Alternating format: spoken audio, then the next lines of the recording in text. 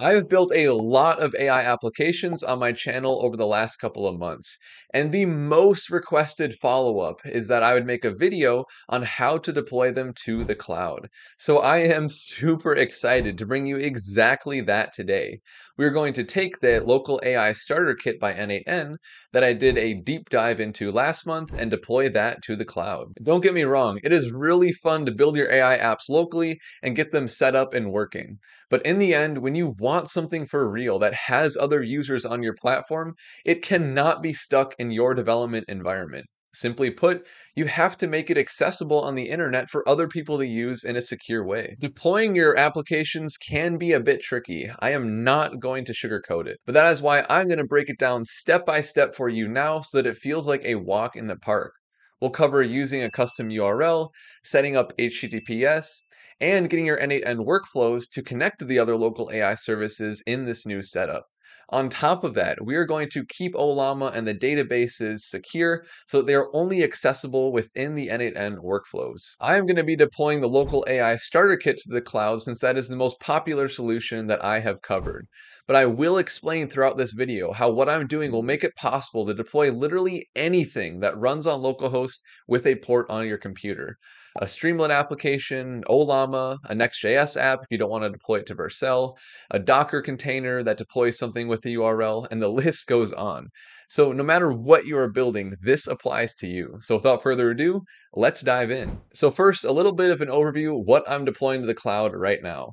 Again, you can use what I'm showing you now to deploy anything to the cloud, but I'm picking this specifically because I have to choose something, and this is the most popular solution that I have covered on my channel. And so what this is, it is a local AI starter kit by the N8N team. And so what it does is it packages together Ollama for your LLMs, Qdrant for your vector database for RAG, Postgres for your SQL database for things like chat memory, and then also N8N for your workflow automations.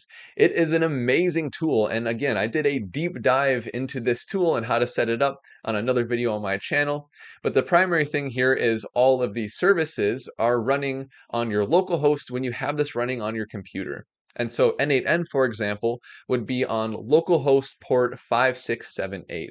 And so that's fine when you just want to access it yourself on your computer, but when you actually want to deploy it, you want a URL like n8n.yourdomain.com that would then redirect to the instance of N8N that's running on port 5678 on the machine that you're hosting it on in the cloud. So that is what I'm going to show you how to do right now. So for my cloud provider today, I chose DigitalOcean. I really, really prefer DigitalOcean for most use cases.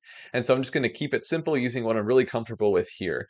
The one thing I'll say that it's not the best with is when you want to have a really powerful machine in the cloud to run really, really good large language models like 3.2 90B, for example.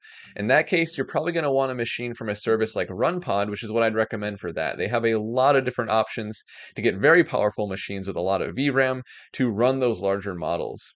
But in my case, I'm just going to use smaller models. And also, if you're deploying something like a Streamlit app or a Next.js app, you don't need a lot of power. And so, yeah, DigitalOcean just has really good offerings for that. So I'm not affiliated with RunPod or DigitalOcean, but these are just my preferences for those different use cases. And so once you're signed into DigitalOcean, you can go in the top right and click on create here. They do have GPU droplets, but um, they're pretty limited in their offerings right now, which is why I recommend RunPod for the beefier machines. So I'm just going to click on a droplet here and create something pretty basic. And so I'll walk you through step by step very quickly what I have here so you can have the exact same machine as me if you would like. I'll leave the region and data center the same. And then for my image here, I'm going to go to the marketplace and choose Docker for Ubuntu. So this is the only thing that might be a little different for you if you have a different distribution of Linux or if you aren't using Linux, then the steps that I'm going to go through now aren't going to be exactly the same. Because even if you're using Linux, you might have a distribution with a different package manager like Yum, for example. But if you have a Linux machine in the cloud with Ubuntu, the steps are going to be exactly the same no matter what cloud provider you are using. And so I'm trying to make this tutorial here very cloud provider agnostic. And so it doesn't really matter if you're using DigitalOcean or not, as long as you've got an Ubuntu Linux machine, and that is really, really standard anyway. So I'd recommend that. And then for the droplet size, I'll just choose the largest um, basic plan one that's available to me because I want some good CPU here. Um, and then for the password, I'm just going to get that from another screen that I have up here. Um, this is also, we're going to be referencing the steps as I go through it with you guys. So I'll just paste that in and then I'll leave everything else the same. I guess I can change the host name here. I'll just say YouTube uh, AI app deploy. All right, and then this is looking good. So I'll go ahead and click on create droplet, and then it takes about like 30 seconds to a minute. It is super, super fast, and then we'll be able to log into our droplet. So there we go. After just like a minute, like I said, my droplet is now ready for me to access. So I can just click on the three dots right here, click on access console, and then launch droplet console. And boom, that is it. We are now connected into our machine, and we can go ahead and enter in any commands that we want. So now, as promised, I get to walk you through step by step how to deploy an AI application to the cloud with this local AI starter kit as an example. I have done nothing on this machine at this point. So this is going to be from start to finish, every single step that you need. On another monitor here, I have all the steps that I'm going to copy and paste it can also be nice and quick so you don't have to watch me type everything out. Um, so the very first command that we have here is going to be to clone our Git repository for the local AI starter kit. And then now that I have uh, cloned it, I have this new folder here that I can change my directory into. And so now with that, there's a couple of things that we want to edit that I went over in my last video on this as well. So first of all, we have our .env file. So I'm going to do nano.env because we have to set up a couple of things here for Postgres and also our N8N security. And so for Postgres, you can change your username and password to sign into the database, and you're going to set this as part of your credentials in N8N and then also the name of the database. So I'm just going to be deleting this instance after this video, so I'm going to leave it all as the same, and I'm also going to just show you these secrets that I type here because it really doesn't matter um, since I'm getting rid of this. And so for these secrets, you can really just type in whatever you want. It doesn't really matter. It just has to be something that you don't want to share because these are encryption keys that you are creating yourself. Um, and so I'm just going to kind of type in whatever here and then leave everything the same for Postgres, but you can change this to fit your needs as well. And then to exit out of this, it's going to be Control X or Command X if you're on Mac, and then Y to save, and then Enter, and then boom, there we go. So now if I do a cat.env, I can see that my updates to this file have been made. And so now I'm also going to change the Docker Compose file too, because there is one thing that I want to add in my Ollama container to actually pull the things that I want when this runs because otherwise I'm going to have to pull those at runtime to have the models I want available to me in the N8N workflows. And so what I'm going to do is I'm actually going to copy what I want this line to be right here. So this, this command is what runs when the Ollama container starts. And I want to add in another model. So I'm going to pull the embedding model as well, Nomic embed text, because without this available, we don't actually have a model available to us for our embeddings for RAG. And so I'm just making that one update here like I made in my other video, again, control X, Y, enter, boom, and we have those updates made. So now we've made all the changes that we need in our source control here, and we can move on to our firewall steps. And so now before we actually run anything with these containers, we need to get a few things set up, and that's what I'm to walk you through here, starting with the firewalls. And so the first command that I'm to run here is sudo ufw enable. Now this command doesn't actually need to be run in the Docker DigitalOcean droplet, but for a lot of your different droplets, or if you're using a different cloud provider, you have to make sure that UFW is enabled for firewalls. And so I'm going to do that. And now we can do some enabling. And so the next command that I'm going to run here is going to be to open up ports 80 and 443. Without these open, in a later step when we set up our SSL cert for HTTPS, it will fail. So we have to run these and get that set up. And then we will do a sudo UFW reload so that we can apply those rules for the firewall. So there we go. That is everything we need. Firewall reloaded. Perfect. Now we can move on to our next step because um, again, there's a couple things we have to do before we actually run anything here for our containers. And so I'm going to paste in the next step here, and that is to install Nginx. Nginx is a reverse proxy, and that is what's going to make it possible for set it to set it up so that there is a URL that a user visits, and then behind the scenes it routes that request to N8N that is running on the local host here on port 5678. And you'll see when I set up the configuration for N8N how it makes that connection. And so let me do sudo apt install nginx. I will continue with this operation, and it's going to take a little bit to install uh, because N8N or Nginx is a little bit larger here. Uh, but in the meantime, I'll just copy the next command here. Um, and then, yep, there we go. So it was only like you know 15 seconds, even though it was bigger. Nice and quick. And then I'll paste in the next command here. Um, and so this is where it gets a little technical with Nginx. We have to set up all of the reverse proxy configuration, but just bear with me because it's not that hard overall. There's only a few commands that we have to do, even though it might be a little more technical. And so the next one I'm going to do is I'm going to go into this Nginx configuration for an application that I'm going to create. And this is where we start the config to make it possible to have a URL that points to a specific port in this machine. And then I'm to paste in some config here, which I'll have available for you to copy in the description of this video. And I actually should mention that all of the steps that I'm running here, I will have there for you in the description for you to copy, so you don't have to type out anything yourself. The one thing that I'll say for this config is that it gets really nitpicky with tabs and spaces. I would recommend just sticking with spaces and having two spaces per tab. So right here, it's just two spaces. And then for these that are indented one level deeper, it is four spaces. So make sure that you have all these as spaces. Otherwise, sometimes you will get errors that'll tell you that it's not recognizing characters in that line, weird things like that. Um, but yeah, you can see here that I have my domain, n8n.dynamous.ai, that is listening on port 80. 80 is the default port for when you are visiting a website with HTTP. And so we'll set up HTTPS later, but when you visit this site on HTTP, you are then redirected to localhost port 5678, and that is where we have N8N hosted. And you can see how if you have a Next.js app on port 3000 or a Streamlit app on port 5601, whatever it is, you would just set that here, and that's how you can reverse proxy to get your URL to point to this right here, this localhost and this port. And so this is how you can use it to literally deploy anything that you want on the cloud. And so again, making that connection back to other things as well, so I'm not just focusing on the local AI starter kit. Uh, but anyway, that out of the way, I'll do a control X again, Y, enter, and boom, we are good to go. So next up, we need to actually enable the application. We do this by creating a symbolic link from the folder that we created in the sites available folder to the sites enabled folder within Nginx. So I'm going to run this, and now that'll actually make it so that our URL is going to be set up to go to localhost port 5678 for N8N. And then I can run a command to test that our configuration is set up correctly and that our site is enabled. And for that, we can run the command sudo nginx dash t.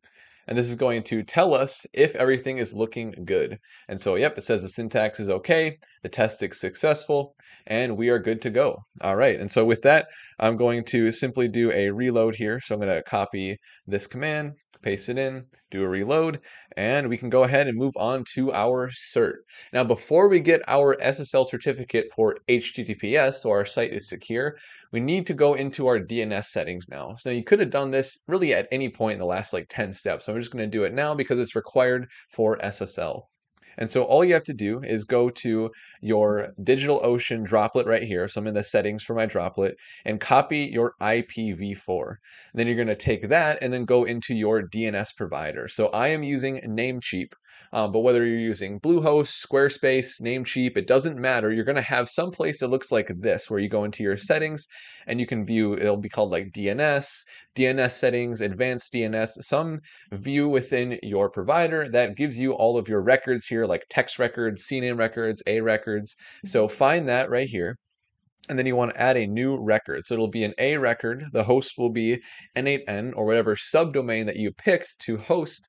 And then for your IP address, you paste in the IPv4 of the DigitalOcean droplet. And so there we go. I've added this A record and we are good to go back to DigitalOcean to now set up our SSL cert. So that is everything that you have to do within your DNS settings. It is super, super simple. And so now moving on, what we can do is install certbot. That's what we're going to use for our SSL cert. Now I had to verify some things off camera, so I already ran this command, but I promise I really haven't doing this from scratch. I just had to quickly do that off camera so you can see that's why it said it was already installed. But you'll install that. It might take a little bit. And then after you can run the command to set up the cert for your domain. So um, for me, it's going to be n8n.dynamous.ai. And again, I already ran this command. And so it's going to ask me if I want to um, yeah, I can just say renew and replace the certificate. There'll be different settings where I'll have you enter in your email and agree to their terms and conditions. If you haven't done this already, I'm just going to renew this certificate here. Um, but the message that we get as a success is going to look very similar here, where it says deploying certificate, and then successfully deployed the certificate. And that is it. We now have everything set up for Nginx and Certbot for SSL, so we can finally run our containers and start up our local AI starter kit. So I know that some of these steps were kind of technical, but again, you just got to bear with me through it, um, and I hope that this makes it really, really clear. So again, ask me in the comments if you have any questions on these things, but now we can actually run this thing. And so I'm going to change my directory back into our self-hosted AI starter kit and then I can copy the command to run this with docker compose. And so you can run this with the GPU as well. There are instructions in the README for the local AI starter kit repo on how to run this if you're going to use Mac or if you want to use your NVIDIA GPU. I'm just going to use the CPU because I have a very basic DigitalOcean droplet. And then I'm including the dash D flag for detached, because if you don't include this, then your terminal will actually hang as it waits for more logs from the Docker containers. And so I'm just going to run this here, and it's going to take a little bit longer for you because you're going to have to pull all of these images. I did this ahead of time, so you don't have to wait for all of that to pull.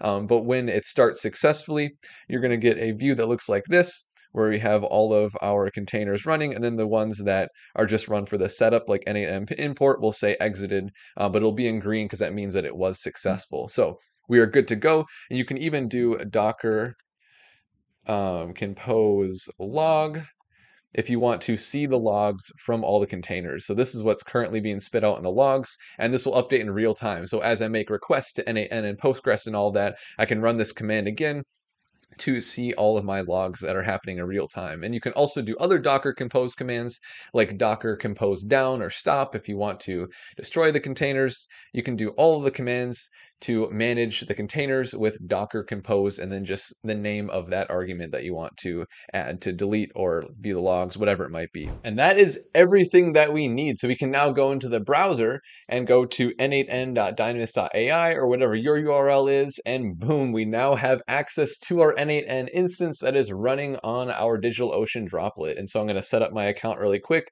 I'll just kind of put in whatever here because um, we got to create our account the first time that we're in. Because I really am doing this from scratch here. So I'll set up my account and there we go. And so I'm going to um, actually import a workflow that I had from a previous video, pause and come back once I have that. All right, so I have imported my workflow from my previous videos, and we are going to quickly set up the connections here so that I can show you how to get everything working in the N8N workflows now that we're hosted in the cloud.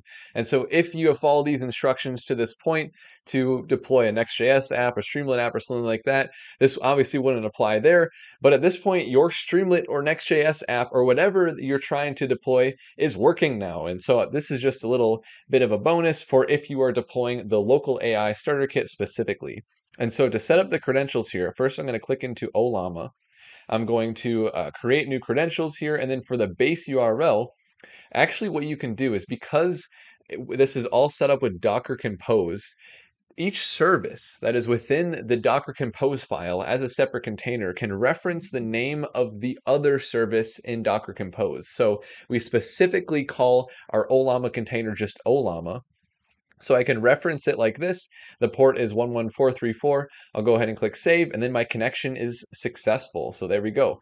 We are good to go. And then for Postgres, it's going to be a very similar deal here. So the host is going to be just Postgres because that's the name of the service in the Docker Compose file. And then the database is N8N. My user, I believe, was just Postgres. Um, actually, let me verify that really quickly here. What did I call my user? Let me uh, go back to my environment file and check that. Okay, I called it root. That's right. Okay, so uh, the user is root not three O's, and then the password I just had as password.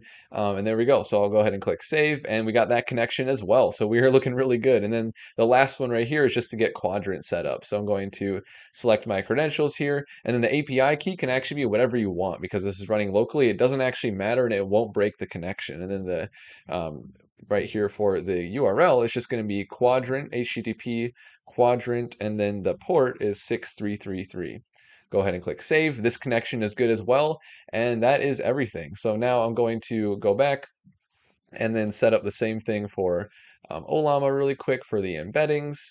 And um, then, yeah, we can go ahead and test it out. So I'm, I'm just using Llama um, yeah, 3.1 8B right now. It's not the best with RAG, so I'm just going to delete this tool right here um, and just have a quick chat message with it because I don't want it to go through the whole RAG process right now. So I'll just say hi and make sure that my connection with Postgres and Ollama is working good. There we go. We got a response from Llama 3.1 8B, so everything is looking really, really good.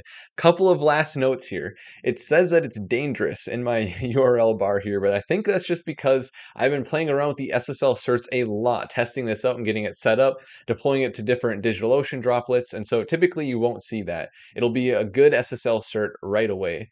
Um, and then the other thing that I wanted to mention here is that the rest of this workflow uh, with the Google Drive ingesting of documents for RAG and all of that, that is going to be um, something that you can find in other videos on my channel. So I'll reference that as well. If you're curious about how this workflow all works in N8N, I obviously just wanted to focus on how to get this deployed in the cloud today.